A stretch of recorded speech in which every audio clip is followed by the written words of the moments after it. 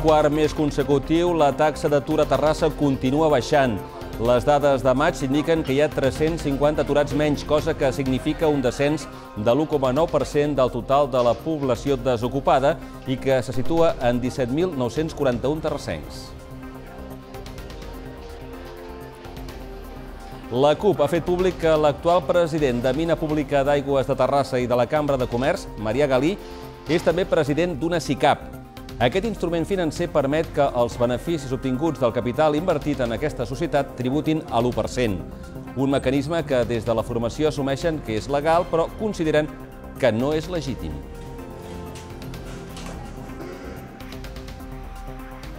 Càritas Diocesana de Terrassa va atendre més de 92.000 persones durant el 2015. A la Pastoral de Terrassa, 2.408 famílies, el 12,3% de l'acció social total. Les ajudes dels diferents programes estan valorades en 4 milions i mig d'euros. L'entitat alerta de la cronicitat de pobresa familiar.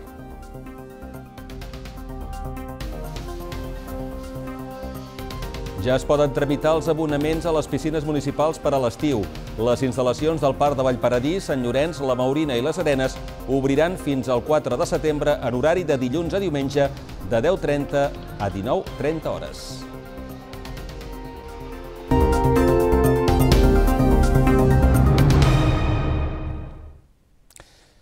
Què tal? Bona nit. Ho dèiem en el sumari. Per quart mes consecutiu, la taxa d'atur a Terrassa continua baixant. Les dades del passat mes de maig indiquen que hi ha en aquests moments 350 aturats menys respecte al mes anterior, cosa que significa un descens de pràcticament el 2% del total de la població desocupada, una població que ara se situa fregant els 18.000 terrassencs. Per quart mes consecutiu, la taxa d'atur a Terrassa continua disminuint. De fet, si no fos perquè al mes de gener no hi va haver variació, serien ja 9 mesos seguits de xifres positives en termes d'ocupació. Els registres del maig indiquen que des del mes anterior a la nostra ciutat hi ha 350 aturats menys, cosa que significa un descens de l'1,9% del total de la població aturada, que se situa en 17.941 terrassencs. La xifra d'atur, doncs, ha estat inferior a 18.000, un fet que no es produïa des de fa gairebé 7 anys, concretament des del juliol del 2009, quan el nombre era de 17.306. La taxa d'aturats a la nostra ciutat és actualment d'un 17,13%, el que suposa una reducció de més de 10 punts respecte a l'any passat. A nivell comarcal, la taxa també ha seguit la seva dinàmica a la baixa dels últims 4 mesos i se situa al 14,69%. Al Vallès Occidental s'ha registrat una caiguda de 1.345 aturats, és a dir, d'un 2,1% respecte al mes d'abril. La diferència d'ara fa un any supera els 8.000 vallesans, fet que significa un 11,4% de parats menys. En el cas de Sabadell, el nivell d'aturats ha descendit dels 15.000 gràcies a una baixada de 537 persones durant l'últim mes. Concretament, són 14.873 els sabadellencs que actualment es troben sense feina.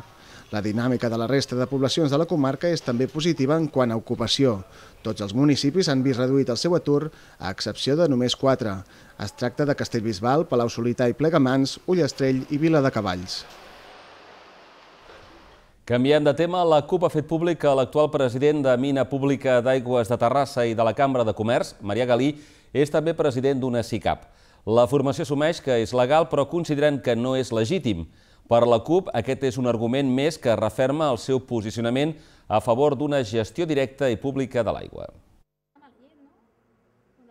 La CUP de Terrassa ha fet públic que Maria Galí, president de Mina Pública d'Aigües de Terrassa i de la Cambra de Comerç de Terrassa, és president d'una SICAP, una societat d'inversió de capital variable.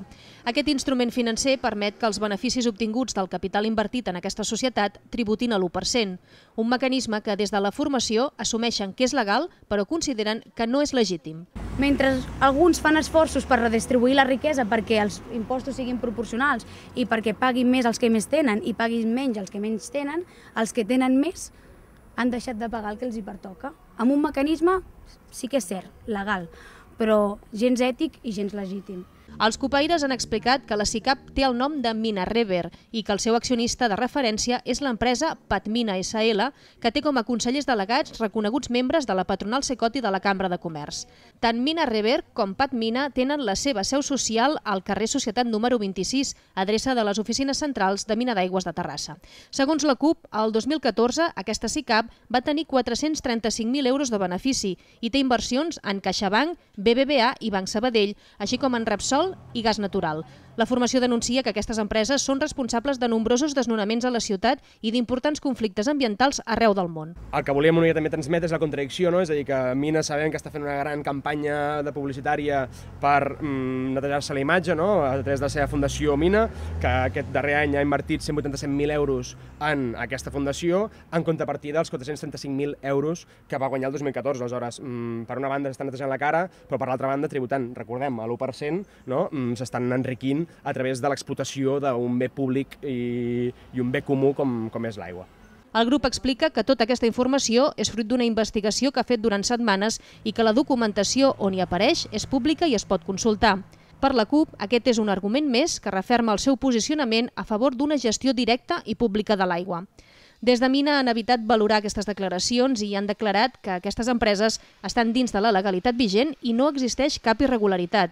També han recordat que les SICAP gaudeixen dels mateixos avantatges fiscals que els fons d'inversió. Durant l'any passat, 92.000 persones van rebre ajuda de Càritas Diocesana de Terrassa. Això és un 18% més que l'any anterior. A la Pastoral de Terrassa van atendre 2.408 famílies, el 12,3% de l'acció social total que aplega pràcticament tots els Vallès Occidental i Oriental. L'entitat alerta que la pobresa familiar s'està fent crònica. Càritas Diocesana de Terrassa ha atès unes 15.500 famílies al 2015, amb més de 92.000 persones que han rebut diferents respostes valorades en 4,4 milions d'euros.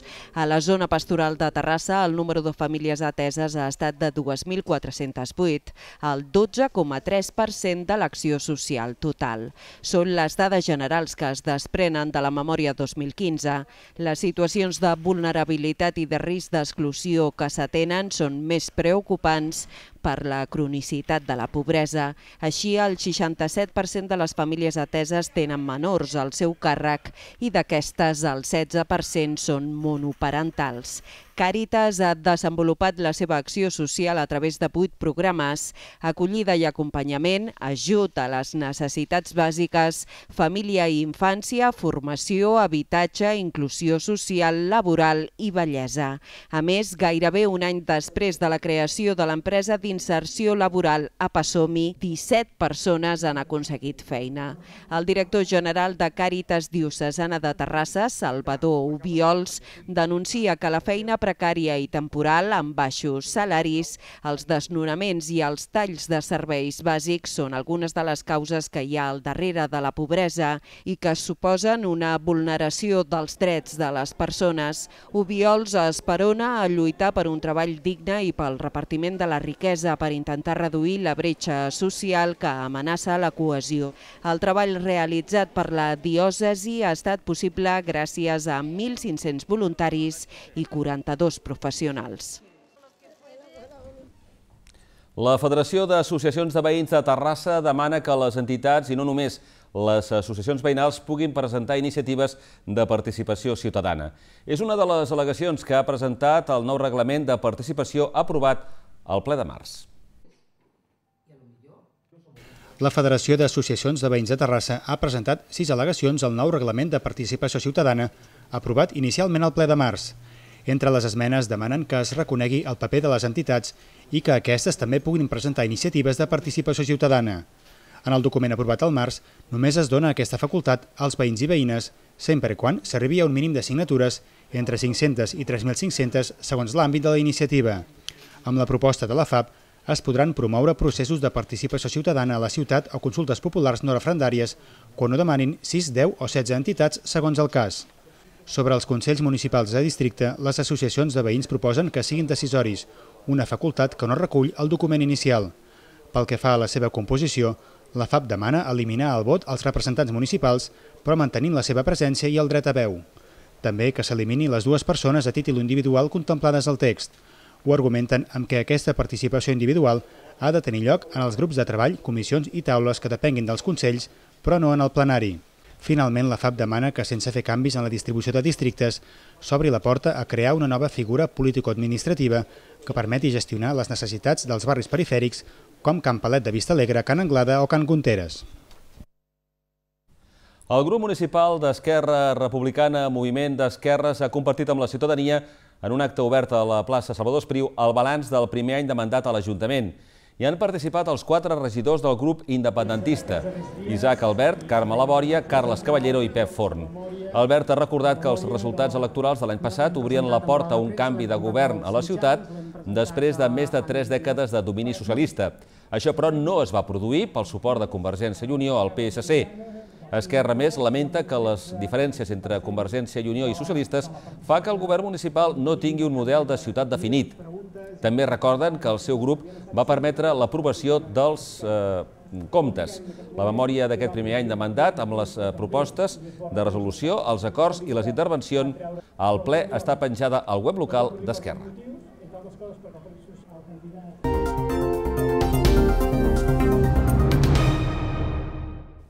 Ja es poden tramitar els abonaments a les piscines municipals per a l'estiu. Les instal·lacions del Parc de Vallparadís, Sant Llorenç, la Maurina i les Arenes obriran des de Sant Joan i fins al 4 de setembre en horari de dilluns a diumenge. El proper 24 de juny comença la temporada de bany a les piscines municipals de Terrassa. Aquests dies ja es treballa per tenir-les a punt i l'Ajuntament ja ha obert el termini per tramitar els abonaments. Les instal·lacions del Parc de Vallparadís, Sant Llorenç, la Maurina i les Arenes obriran fins al 4 de setembre en horari de dilluns a diumenge de dos quarts d'onze del matí fins a dos quarts de vuit del vespre. La gestió del passi s'ha de fer als respectius equipaments, excepte la piscina de les Arenes, on caldrà adreçar-se a l'oficina del poliesportiu municipal del barri. En tots els casos serà necessari presentar la sol·licitud d'abonament, DNI i dues fotografies de cada membre i la documentació que justifiqui l'aplicació d'una bonificació si s'escau. Els ajuts poden arribar al 75% per raó de discapacitat, jubilació, família nombrosa i capacitat econòmica. Com cada any, els abonaments es podran fer per 15 dies o per tota la temporada i en modalitat individual o familiar.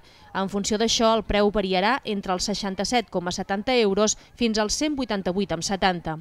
Pel que fa als preus per dia, l'entrada serà gratuïta fins als 6 anys, de 5 amb 30 per als usuaris entre 7 i 13 anys i de 6,80 euros la general, mentre que els jubilats pagaran 5 euros. A partir de les 4 de la tarda costarà 4 amb 20. També es podran adquirir targetes de 5 o 10 entrades. El Consorci Sanitari de Terrassa coordina el nou servei d'oncologia radioteràpica de l'Hospital Sant Joan de Déu de Manresa, que s'ha posat en marxa aquest mes de juny. Metges, infermers i tècnics especialistes de l'Hospital de Terrassa s'han destinat a aquest centre per atendre aquest nou servei amb les modalitats terapèutiques més avançades. És un pas més del Pla Director d'Oncologia del Departament de Salut i aquest nou servei s'uneix a l'anell oncològic que actualment està integrat pel taulí i el propi Consorci. D'aquesta manera, la població podrà rebre el tractament a prop del seu domicili, garantint l'assistència a tots els pacients del Solsonès, Bages, Berguedà i Cerdanya, sense desplaçar-se fins al Vallès Occidental. En total, uns 263.000 habitants, dels quals es calcula que es podran tractar amb radioteràpia entre 440 i 460 pacients cada any. Abans, aquests malalts s'havien de desplaçar a Terrassa.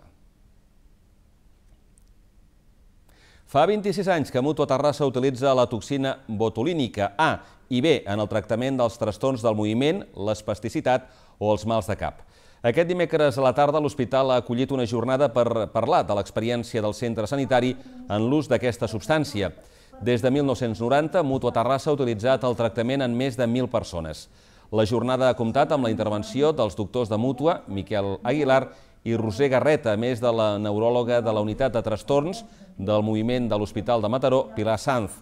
També ha explicat la seva experiència a un pacient amb un tipus de distonia que consisteix en el tensament eh, voluntari de les parpelles.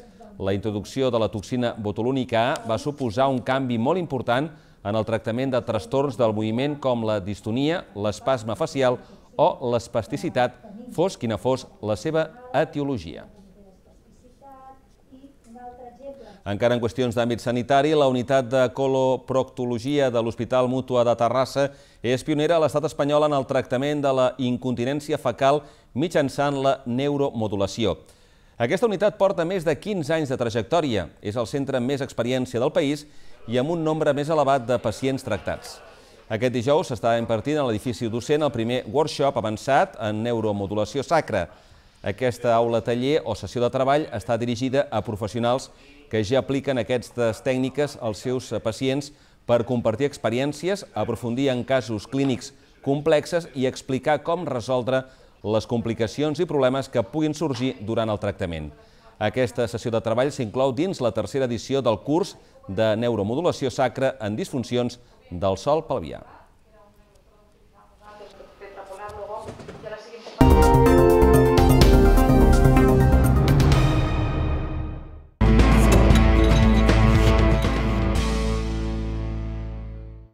Des d'un Mas Barato volem que ens diguis la diferència entre aquesta rentadora i aquesta altra. Ah, exacte! L'única diferència és el seu preu. Estalvia comprant electrodomèstics de qualitat directament de fàbrica. Vine a conèixer la nostra botiga al carrer Almeria 157. A un Mas Barato. Si pagues més pel mateix, és perquè vols. A un Mas Barato patrocina els esports.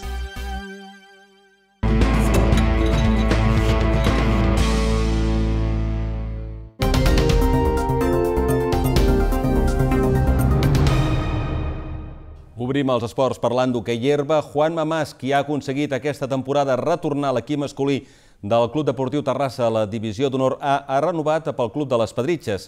S'ha fet oficial en un comunicat on s'especifica que l'acord és per les properes dues temporades. El tècnic andalús, doncs, continuarà compaginant la seva tasca d'entrenador amb la primera plantilla amb la de director tècnic de l'entitat. En aquest darrer mes, la Junta Directiva del Club Deportiu Terrassa i Mas han tingut diverses reunions per poder concretar el preacord existent. Quan Mas va arribar a les Pedritxes, el seu compromís es perllongava inicialment per un any, tot i que existia la possibilitat d'ampliar el contracte dos anys més. Parlem ara de pàdel i és que el Club Natació Terrassa acollirà entre el 8 i el 18 de juny una nova edició de la vessant estiuenca del White Paddle Festival. Les instal·lacions de l'àrea olímpica seran l'escenari d'aquest torneig de caràcter social i amb un alt component lúdic i festiu. La competició contempla categories masculines, femenines, mixtes i kits. El Club Natació Terrassa i l'empresa Staying Barcelona Luxury organitzen per quarta vegada el White Paddle Festival, un torneig de pàdel de caràcter social adreçat a jugadors de tots els nivells i que inclou un alt component lúdic i festiu. Arrencarà el proper dimecres 8 de juny amb la fase de grups. Les finals estan programades pel dissabte 18. La iniciativa, que s'ha presentat aquest dimecres a les instal·lacions agarenques, pretén integrar la gran acceptació que té aquest esport entre la massa social del club. Eh, som conscients que d'hores d'ara el pàdel és un esport que està en alça, eh, tendència que com a club no deixem de notar i que ens condueix a, a apostar per esdeveniments d'aquest tipus. La competició contempla quatre categories masculines, quatre femenines, dues mixtes i tres per a nens d'entre 8 i 14 anys. La vessant lúdica tindrà un clar protagonisme durant els dies que duri el torneig. El que ens agrada també és que hi hagi una, una vessant molt lúdica i on la gent s'ho passi bé i els acompanyants no només vinguin a veure eh, el seu marit o la seva dona o els nens que juguen, sinó que a més a més puguin participar de l'oferta lúdica que, que disposem aquí al club. Així doncs, la plaça Dura acollirà un village amb una àmplia oferta gastronòmica i s'habilitarà una zona d'oci que inclourà futbolí, ping-pong i darts. L'espai comptarà amb un fotocol que servirà per participar en un concurs d'Instagram, una zona d'escalfament amb bicicletes estàtiques adreçada als jugadors i una de relax equipada amb hamaques. El Social Bàsquet va organitzar el passat dissabte les seves tradicionals 12 hores en el 23è torneig de final de temporada. El social es va imposar en tres categories. En Alaví es va imposar per davant del bàsquet Arenys i del bàsquet Torrelles, segon i tercer respectivament. En infantil, el triomf també va correspondre al conjunt anfitrió, en una categoria on també hi participaven dos equips del Gassó i Vidal. També es va alçar amb la victòria en l'apartat júnior, guanyant el Gassó i Vidal i el Club Bàsquet Gavà. En categoria amateur, la primera posició va correspondre a l'equip WhatsApp per davant del Regina Carmeli de Rubí i el Social. Finalment, la categoria escola, amb la participació del conjunt agarenc, El Gassó i Vidal i el Torrelles va ser totalment lúdic i sense comptar punts, amb el lliurament de medalles a tots els jugadors i jugadores. No deixem l'esport de la cistella perquè la Joventut Esportiva Terrassa va organitzar el passat cap de setmana les primeres jornades Global Workout al pavelló del Can Jofresa.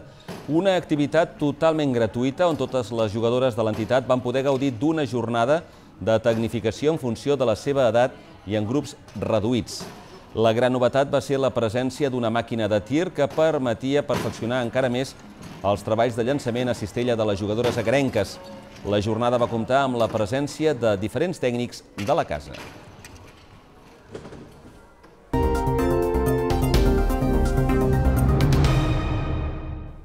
La sala infantil de la Biblioteca Central llueix aquests dies els dibuixos d'Anna Clariana.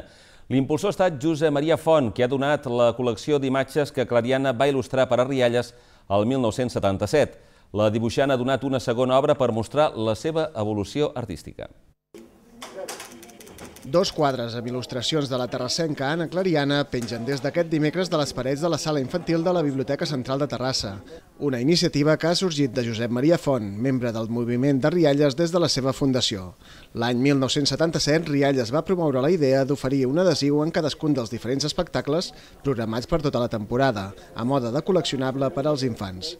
L'encàrrec artístic de Josep Maria Font va ser per la dibuixant Anna Clariana, quan tot just acabava els seus estudis molt agraïda al Josep Maria Font perquè és el primer que em va, que em va donar feines. I això quan un acaba d'estudiar i comença amb el món laboral, pues és, és una gran gratificació.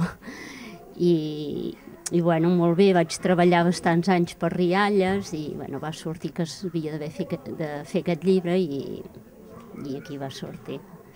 Aquell àlbum, titulat Jocs d'ahir, d'avui i de sempre, constava d'un total de 32 cromos sobre les activitats de lleure, amb textos de Vicenç Villatoro que acompanyaven les il·lustracions de Clariana. Aquests dibuixos els portàvem a la impremta perquè els imprimissin i jo vaig tenir la delicadesa d'anar-los retirant i recollint i guardant. El vaig fent marcar, com Déu mana, i el vaig cedir en el museu perquè em semblava que era història viva de la ciutat i que calia conservar-ho. A més a més, és de les primeres obres que va fer l'Anna Clariana. Després de gairebé quatre dècades dedicant-se professionalment al dibuix, Anna Clariana i Muntada ha participat en la il·lustració de més d'un centenar de publicacions. En diverses ocasions ha col·laborat en obres de Pep Molist, antic bibliotecari de la BCT, i n'és un exemple el quadre que acompanya el del 1977, el qual serveix per veure l'evolució de l'artista. En aquest cas, Clariana ha volgut fer la seva pròpia donació amb una imatge extreta del llibre El tresor del vell pirata, una de les darreres obres que ha realitzat sense el suport de l'ordinador. A l'acte també hi ha participat el regidor de Cultura Jordi Flores i la directora de la BCT Xarxa Maria Gental. La clàssica història d'amor entre Romeu i Julieta s'ha pogut reviure al cinema a Catalunya aquest dimecres al vespre. La sala del carrer Sant Pere ha emès en directe i des del Gran Teatre del Liceu de Barcelona l'òpera I Capuletti e i Montecchi de Vincenzo Bellini amb llibret de Felice Romani. L'acció se situa al segle XIII a Itàlia, a la ciutat de Verona. Romeu i Julieta són dos joves enamorats que pertanyen a famílies nobles enfrontades per la rivalitat política, però també perquè Romeu, dels Montesc, ha mort en combat el fill de Capelio, cap dels Capulets. Joyce Di Donato i Ecaterina Siurina interpreten els personatges de Romeu i Julieta en un món on l'amor conviu amb intrigues, lluites i rivalitats.